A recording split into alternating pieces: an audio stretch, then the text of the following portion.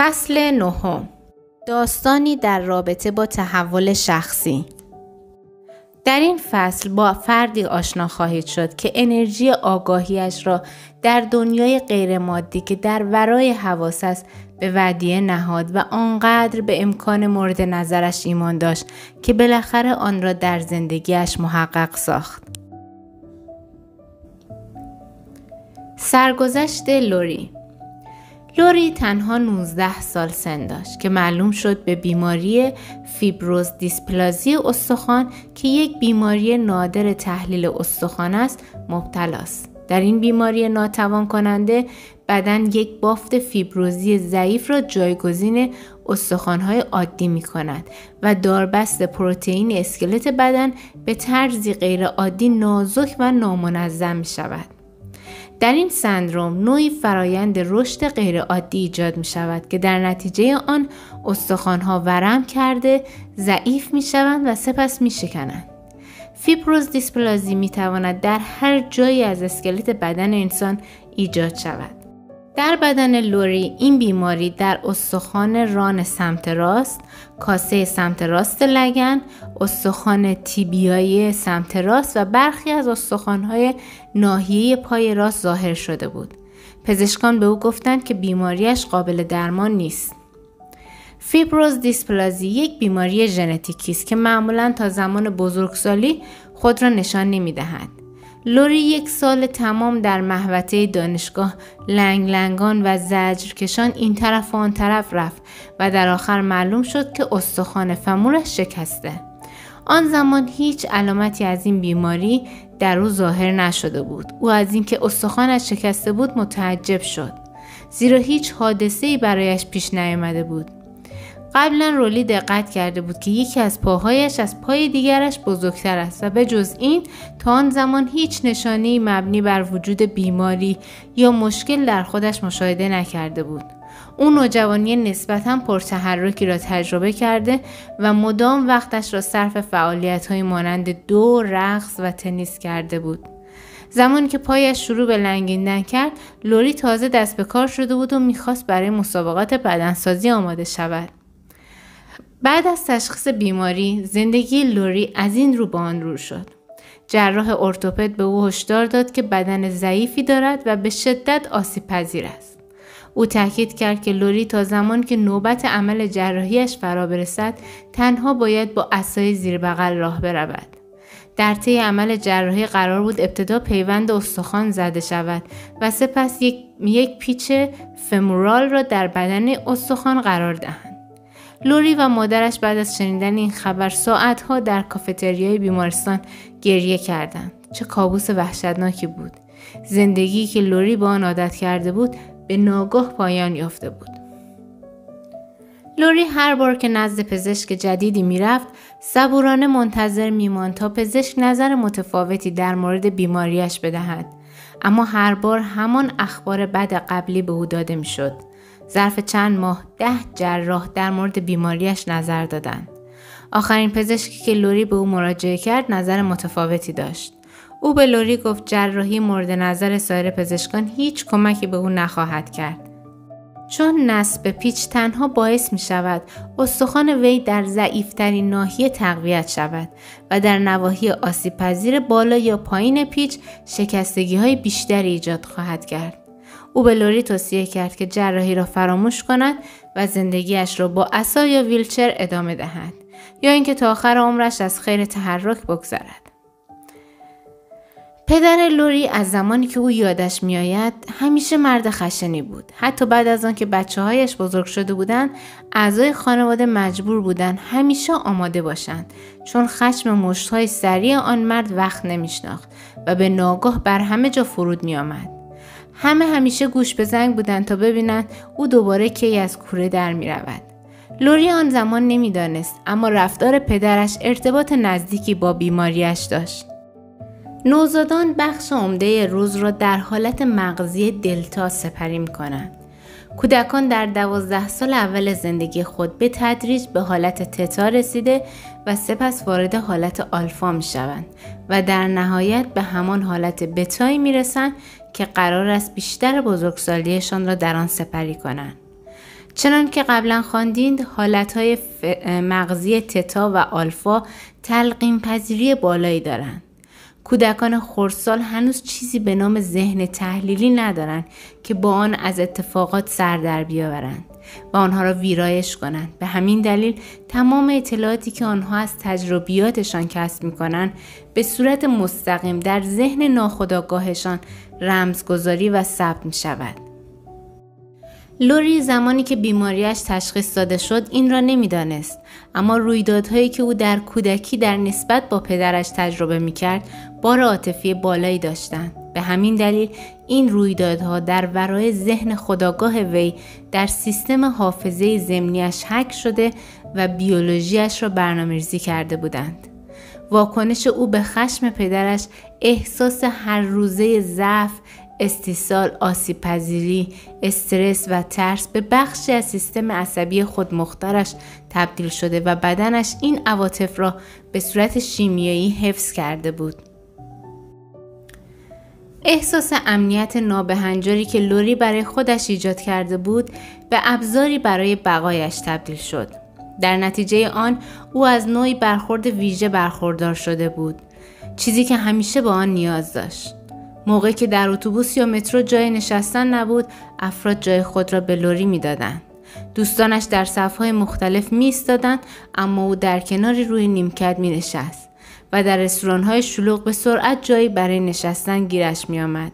در نتیجه لوری متوجه شد که این بیماری به کارش می آید.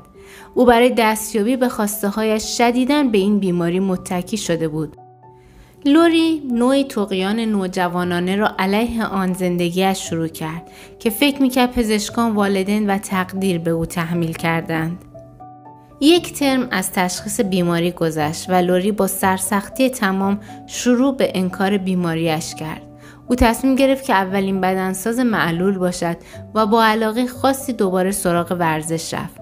در حالی که این علاقه شدید او را کور کرده بود دل به دریا زد و به زور نگرش مثبتی را در خودش پدید آورد البته فقط در سطح ذهن خداگاه او راه های خلاقانه پیدا کرد تا در حین وزنه زدن دست و پایش پیش نخورد او فکر می‌کرد که اگر به زور دردش را نادیده بگیرد بدنش سالمتر خواهد شد البته در حقیقت تلاشهایش نتیجه عکس داد چون بیشتر اوقات حس و حال خوبی نداشت و دردش هم بیشتر شده بود. در بیشتر بیماران فیبروز دیسپلازی اسکولیوس هم ایجاد می شود. لوری هم به همین مشکل دچار شده بود و کمرش همیشه به شدت درد می کرد.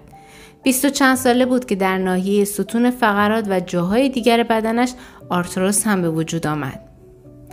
بعد از آنکه لوری فارغ تحصیل شد با اینکه مدام در بین خانه تازه و شغل جدید در رفت آمد بود اما بسیار کم تحرک شده و بیشتر و بیشتر از زندگی فاصله گرفته بود ترس دلهوره و افسردگیش همچنان پابرجا بود او به همراهانش حسودی می‌کرد و دوستی ها و علایق عاشقانهاش پایان یافت چون او بیشتر مانند پدر مادرهای کهنسال زندگی می‌کرد تا مانند جوانهای امروزی لوری در سن سی سالگی بیشتر از پدر 72 سالش کمردرد داشت.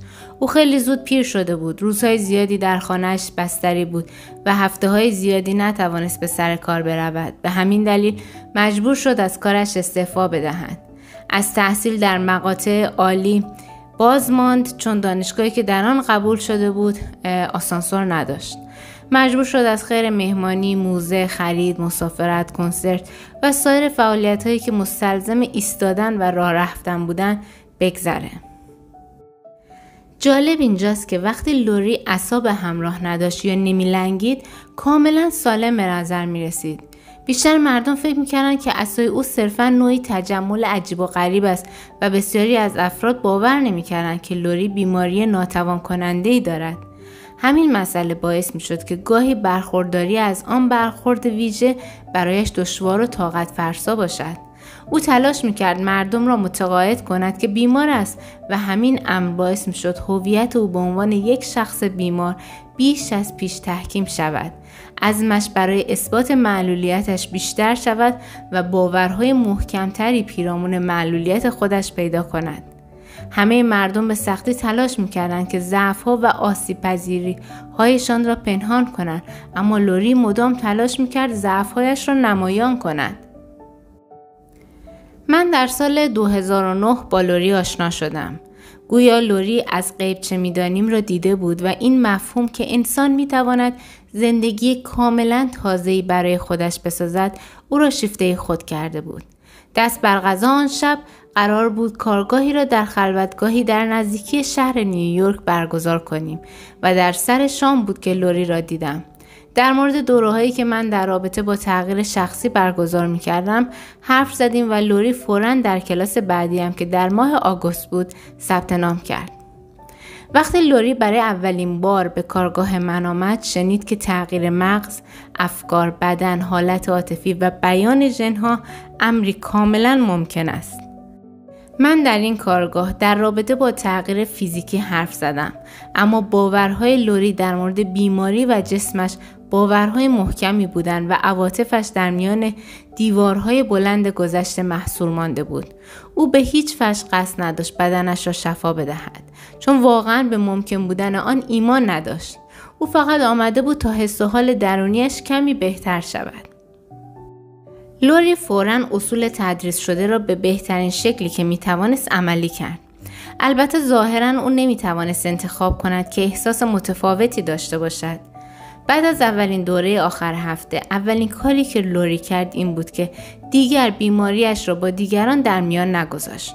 او هنوز نمی توانست عواطفش را کنترل کند اما متوجه شد که حداقل می تواند گفته هایش را کنترل کند.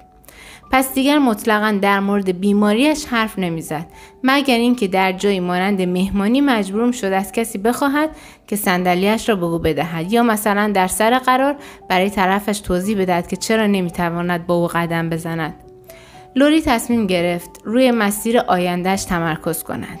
رسیدن به شادمانی درونی پیوند عمیق با نوعی منبع ناشناخته الهی شغل فوقالعاده که, در که او در آن بینظیر ظاهر شود. کسی که در زندگیش شریک شود و روابطی صمیمانه و سالم با دوستان و اقوام. سپس لوری روی تغییر چند رفتار ساده تمرکز کرد. او مراقب افکار و کلماتش بود و مرتبا به خودش یادآوری می‌کرد که جلوی الگوهای قدیمی تکراری و مخربش را بگیرد. او مراقبه ها را ادامه داد و در دوره های من شرکت کرد. برای اینکه به کارهایی که انجام می‌داد معنی ببخشد به صورت جدی یا های کلاسیش را مرور می‌کرد و تا می‌توانست با همکلاسی هایش ارتباط برقرار می‌کرد به مرور زمان لوری در بخش کوتاه اما محسوسی از روز حال بهتری داشت و احساس می‌کرد که قدش بلندتر، تواناییش بیشتر و قدرتش افزونتر شده. او روزانه 20 بار هر موقع که می‌دید ذهنش دارد سراغ گذشته می‌رود به خودش می‌گفت تغییر کن. روزانه صدها بار افکار منفی به درون ذهنش میخزید اما لوری کم کم چند فکر جدید ایجاد کرد. آنها را نوشت و تلاش کرد که عمیقا آنها را باور کند. لوری سخت تلاش می‌کرد اما حدود دو سال طول کشید تا بالاخره توانست واقعا آن افکار جدید را احساس کند. لوری در مدت این دو سال به جای اینکه سرخورده و ناامید شود مدام به خودش یادآوری می‌کرد که مدت زیادی طول کشیده تا این بیماری از آن حالت عاطفی به وجود آمده پس ممکن است از میان بردن آن نیست مدتی طول بکشد او همچنین به خودش یادآوری می‌کرد که قبل از ظهور خود جدیدش باید خود قدیمیش از نظر بیولوژیکی، عصبی، شیمیایی و ژنتیکی دچار مرگ شود. شرایط محیط بیرونی لوری قبل از اینکه بهتر شود بدتر شد. سیل آمد و خانه لوری را به هم ریخت و مشکلات دیگری نیز در آپارتمانش پدید آمد و مشکلات جدیدی در زمینه سلامتی برایش ایجاد کرد. لوری می گفت هر بار که می نشیند تا مراقبه کند و زندگی آرمانیش را فراخانی کند احساس می کند که دارد به خودش دروغ می گوید و هر بار نیز وقتی چشمانش را باز می کرد شرایط فعلیش مانند سیلی بر صورتش نواخته می شد. من اون را تشویق می کردم که دیگر واقعیت را با حواسش تعریف نکند و عبور از رودخانه تغییر را ادامه دهد. در اوایل سال 2012 در یکی از کارگاه های گام به گام من تجربه مراقبه لوری به طرز چشمگیری عمق پیدا کرد. او کاملا متحول شد. از نظر جسمی گویی تلاطمی آمد و بعد از آن رهایی بود بدنش لرزید.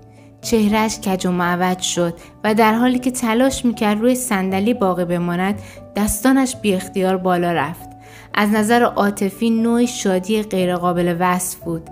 گریه کرد خندید و صداهایی از دهانش بیرون آمد که نمی‌توانست توضیحشان بدهد. تمام آن ترس و کنترلی که قبلا خودش را با آن جمع جور می‌کرد بالاخره داشت رنگ میباخت. او برای اولین بار حضور خداوند را احساس کرد و دانست که هرگز تنها نبوده. در کارگاه بعدی متوجه شدم که لوری بدون عصا آمده بود و نمی لنگید. خوشحال بود لبخند می‌زد با خودش میخندید و مانند قبل ناراحت عبوس و مملو از درد نبود او داشت ترسش را به شجاعت سرخوردگیش را به صبر دردش را به شادی و ضعفش را به قدرت تبدیل می‌کرد او شروع کرده بود به تغییر کردن هم در درون و هم در بیرون حالا که, حالا که از بند اعتیاد با آن عواطف محدود کننده رها شده بود داشت به سمت یک آینده جدید پیش می‌رفت و بدنش کمتر در گذشته زندگی می‌کرد. لوری به مرور قبول کرد که ذهن فقط با فکر کردن می‌تواند جسم را شفا بدهد. آن شکستگی قدیمی که مربوط به خود قدیمیش بود داشت بهبود پیدا می‌کرد چون او عملا کس دیگری شده بود. او دیگر مدارهای مغزی مربوط به شخصیت قدیمیش را شلیک و سیمکشی نمی‌کرد چون دیگر فکر و عملش مانند قبل نبود. لوری دیگر بدنش را نسبت به همان ذهن قبلی شرطی نمی‌کرد چون دیگر با آن عواطف سابق در گذشته زندگی نمی‌کرد. او داشت خود قدیمیش را از حافظه پاک می‌کرد و خود جدیدی را به خاطر میسپرد. او ذهنش را تغییر می‌داد و عواطف خود آیندهش را به بدنش میآموخت و به این ترتیب افکار و اعمال جدیدی را در مغزش شلیک و سمکشی می‌کرد. او در حین مراقبه روزانش حالت وجودی خودش را تغییر می‌داد و به همین سادگی به ژنهای جدید سیگنال جدیدی ارسال می‌کرد. این ژن ها پروتئین های جدیدی می ساختن و این پروتئین ها باعث بهبودی پروتئین هایی می شدن که شکستگی مربوط به بیماری او را ایجاد کرده بودند. او در کارگاه ها یاد گرفت که باید سیگنال های مناسبی را از جانب ذهنش به سلول های هایش ارسال کند تا این سلول ها ژن های فیبروز دیسپلازی را خاموش کرده و ژن های مربوط به تولید ماتریکس عادی استخوان را روشن کنند. لوری یادداشتهایی را در, در تمام اطرافش نصب کرده بود تا به او یادآوری کنند که آگاهیش را حفظ کند و افکار و احساسات مربوط به آینده را مرور کند. نوشته بود من گذار هستم. صعود کن. دوست داشته باش. و این یادداشتها را به پشت درهای خانه چسبانده بود. روی کاغذ چسبان نوشته بود افکار تو قدرت فوق‌العاده‌ای دارند. افکارت را عاقلانه انتخاب کن و آن را به صفحه کیلومتر ماشینش چسبانده بود. یادداشت‌های انگیزشی و جملات تأکیدی برای او چیز جدیدی نبود اما قبلا هرگز آنها را باور نکرده بود چون یاد نگرفته بود که باورهایش را تغییر بدهد در اواخر ژانویه سال 2013 لوری دوباره نزد ارتوپد رفت. پزشک به او گفت که برای اولین بار در طی این 28 سال هیچ شکستگی در عکس برداری ها دیده نمی شود. استخوانهایش سالم و بینقص بودند. برایم نوشته بود نمی‌توانم شادیم را در قالب کلمات بگنجانم. احساس قدرت و سرزندگی می کنم. حالا می‌دانم که نصف بیشتر رودخانه تغییر را پیمودم. یک ماه بعد از مراجعه به ارتوپد لوری در یکی از کارگاه های پیشرفته من شرکت کرد. یه ساعت بعد از اینکه به کارگاه رسید، منشی پزشک با او تماس گرفت و معلوم شد که نتیجه آزمایش خون و ادرارش آماده شده و نشان می‌دهد که بیماریش هنوز فعال است. لوری به شدت غمگین و دلشکسته بود. عکسبرداری ها این احساس را به او القا کرده بود که دوباره سلامتیش را به دست آورده اما حالا نتایج آزمایشگاه عکس این را نشان می‌داد. او ظرف چند ثانیه خودش را باخت مطمئن بود که شکست خورده وقتی قضیه را با من در میان گذاشت به او اطمینان دادم که بدنش هنوز در گذشته زندگی می کند و گفتم کمی زمان می‌برد تا بدنت بتواند خودش را با به ذهنت برساند توصیه کردم که چند ماه دیگر این کار را ادامه دهد و بعدش دوباره آزمایش ادرار بدهد. افراد دیگری نیز در کارگاه بودند که بیماری خود را شفا داده بودند. آنها به لوری انگیزه دادند و این گونه بود که لوری به خانهاش برگشت و تمرینات را با اشتیاق انجام داد. او در حین مراقبه به وضوح احساس می کرد که به زندگی مطلوبش رسیده. او دیگر خودش را صرفا با استخوانهای سالم تجسم نمی کرد بلکه خودش را به صورت کلی سالم تجسم می کرد سرزنده پر حرارت جوان سالم و پر انرژی او همه چیز را آنطور که می‌خواست در ذهنش فرا می‌خواند و از نظر عاطفی به استقبالش می‌رفت و از جمله این چیزها بدن سالمی بود که می‌توانست راه برود. بالاخره روز آزمایش شد. وقتی لوری با ماشین به بیمارستان می‌رفت شروع به شوک گذاری کرد. برای تابش دلانگیز خورشید برای این ترافیک روان برای وجود این ماشین برای پایی که با آن ماشین را میراند برای این بینایی بی و نقص برای جای پارکی که با آن راحتی گیرش آمده بود و غیره. بعدا برایم توضیح داد که رفتم داخل بیمارستان. اسمم را به منشی گفتم چشمهایم را بستم و در سالن انتظار مراقبه کردم تا وقتی که نوبتم شد. ادرارم را در لیوانی ریختم آن را تحویل پرستار دادم بیرون رفتم و برای راه رفتنم شک گذاری کردم. نتیجه را به طول کامل رها کردم. در عمق وجودم راضی بودم و هر نتیجه ای که به دست می آمد برایم فرقی نداشت. به همین دلیل توانستم آن را به طور کامل فراموش کنم. چون منتظر چیزی نبودم.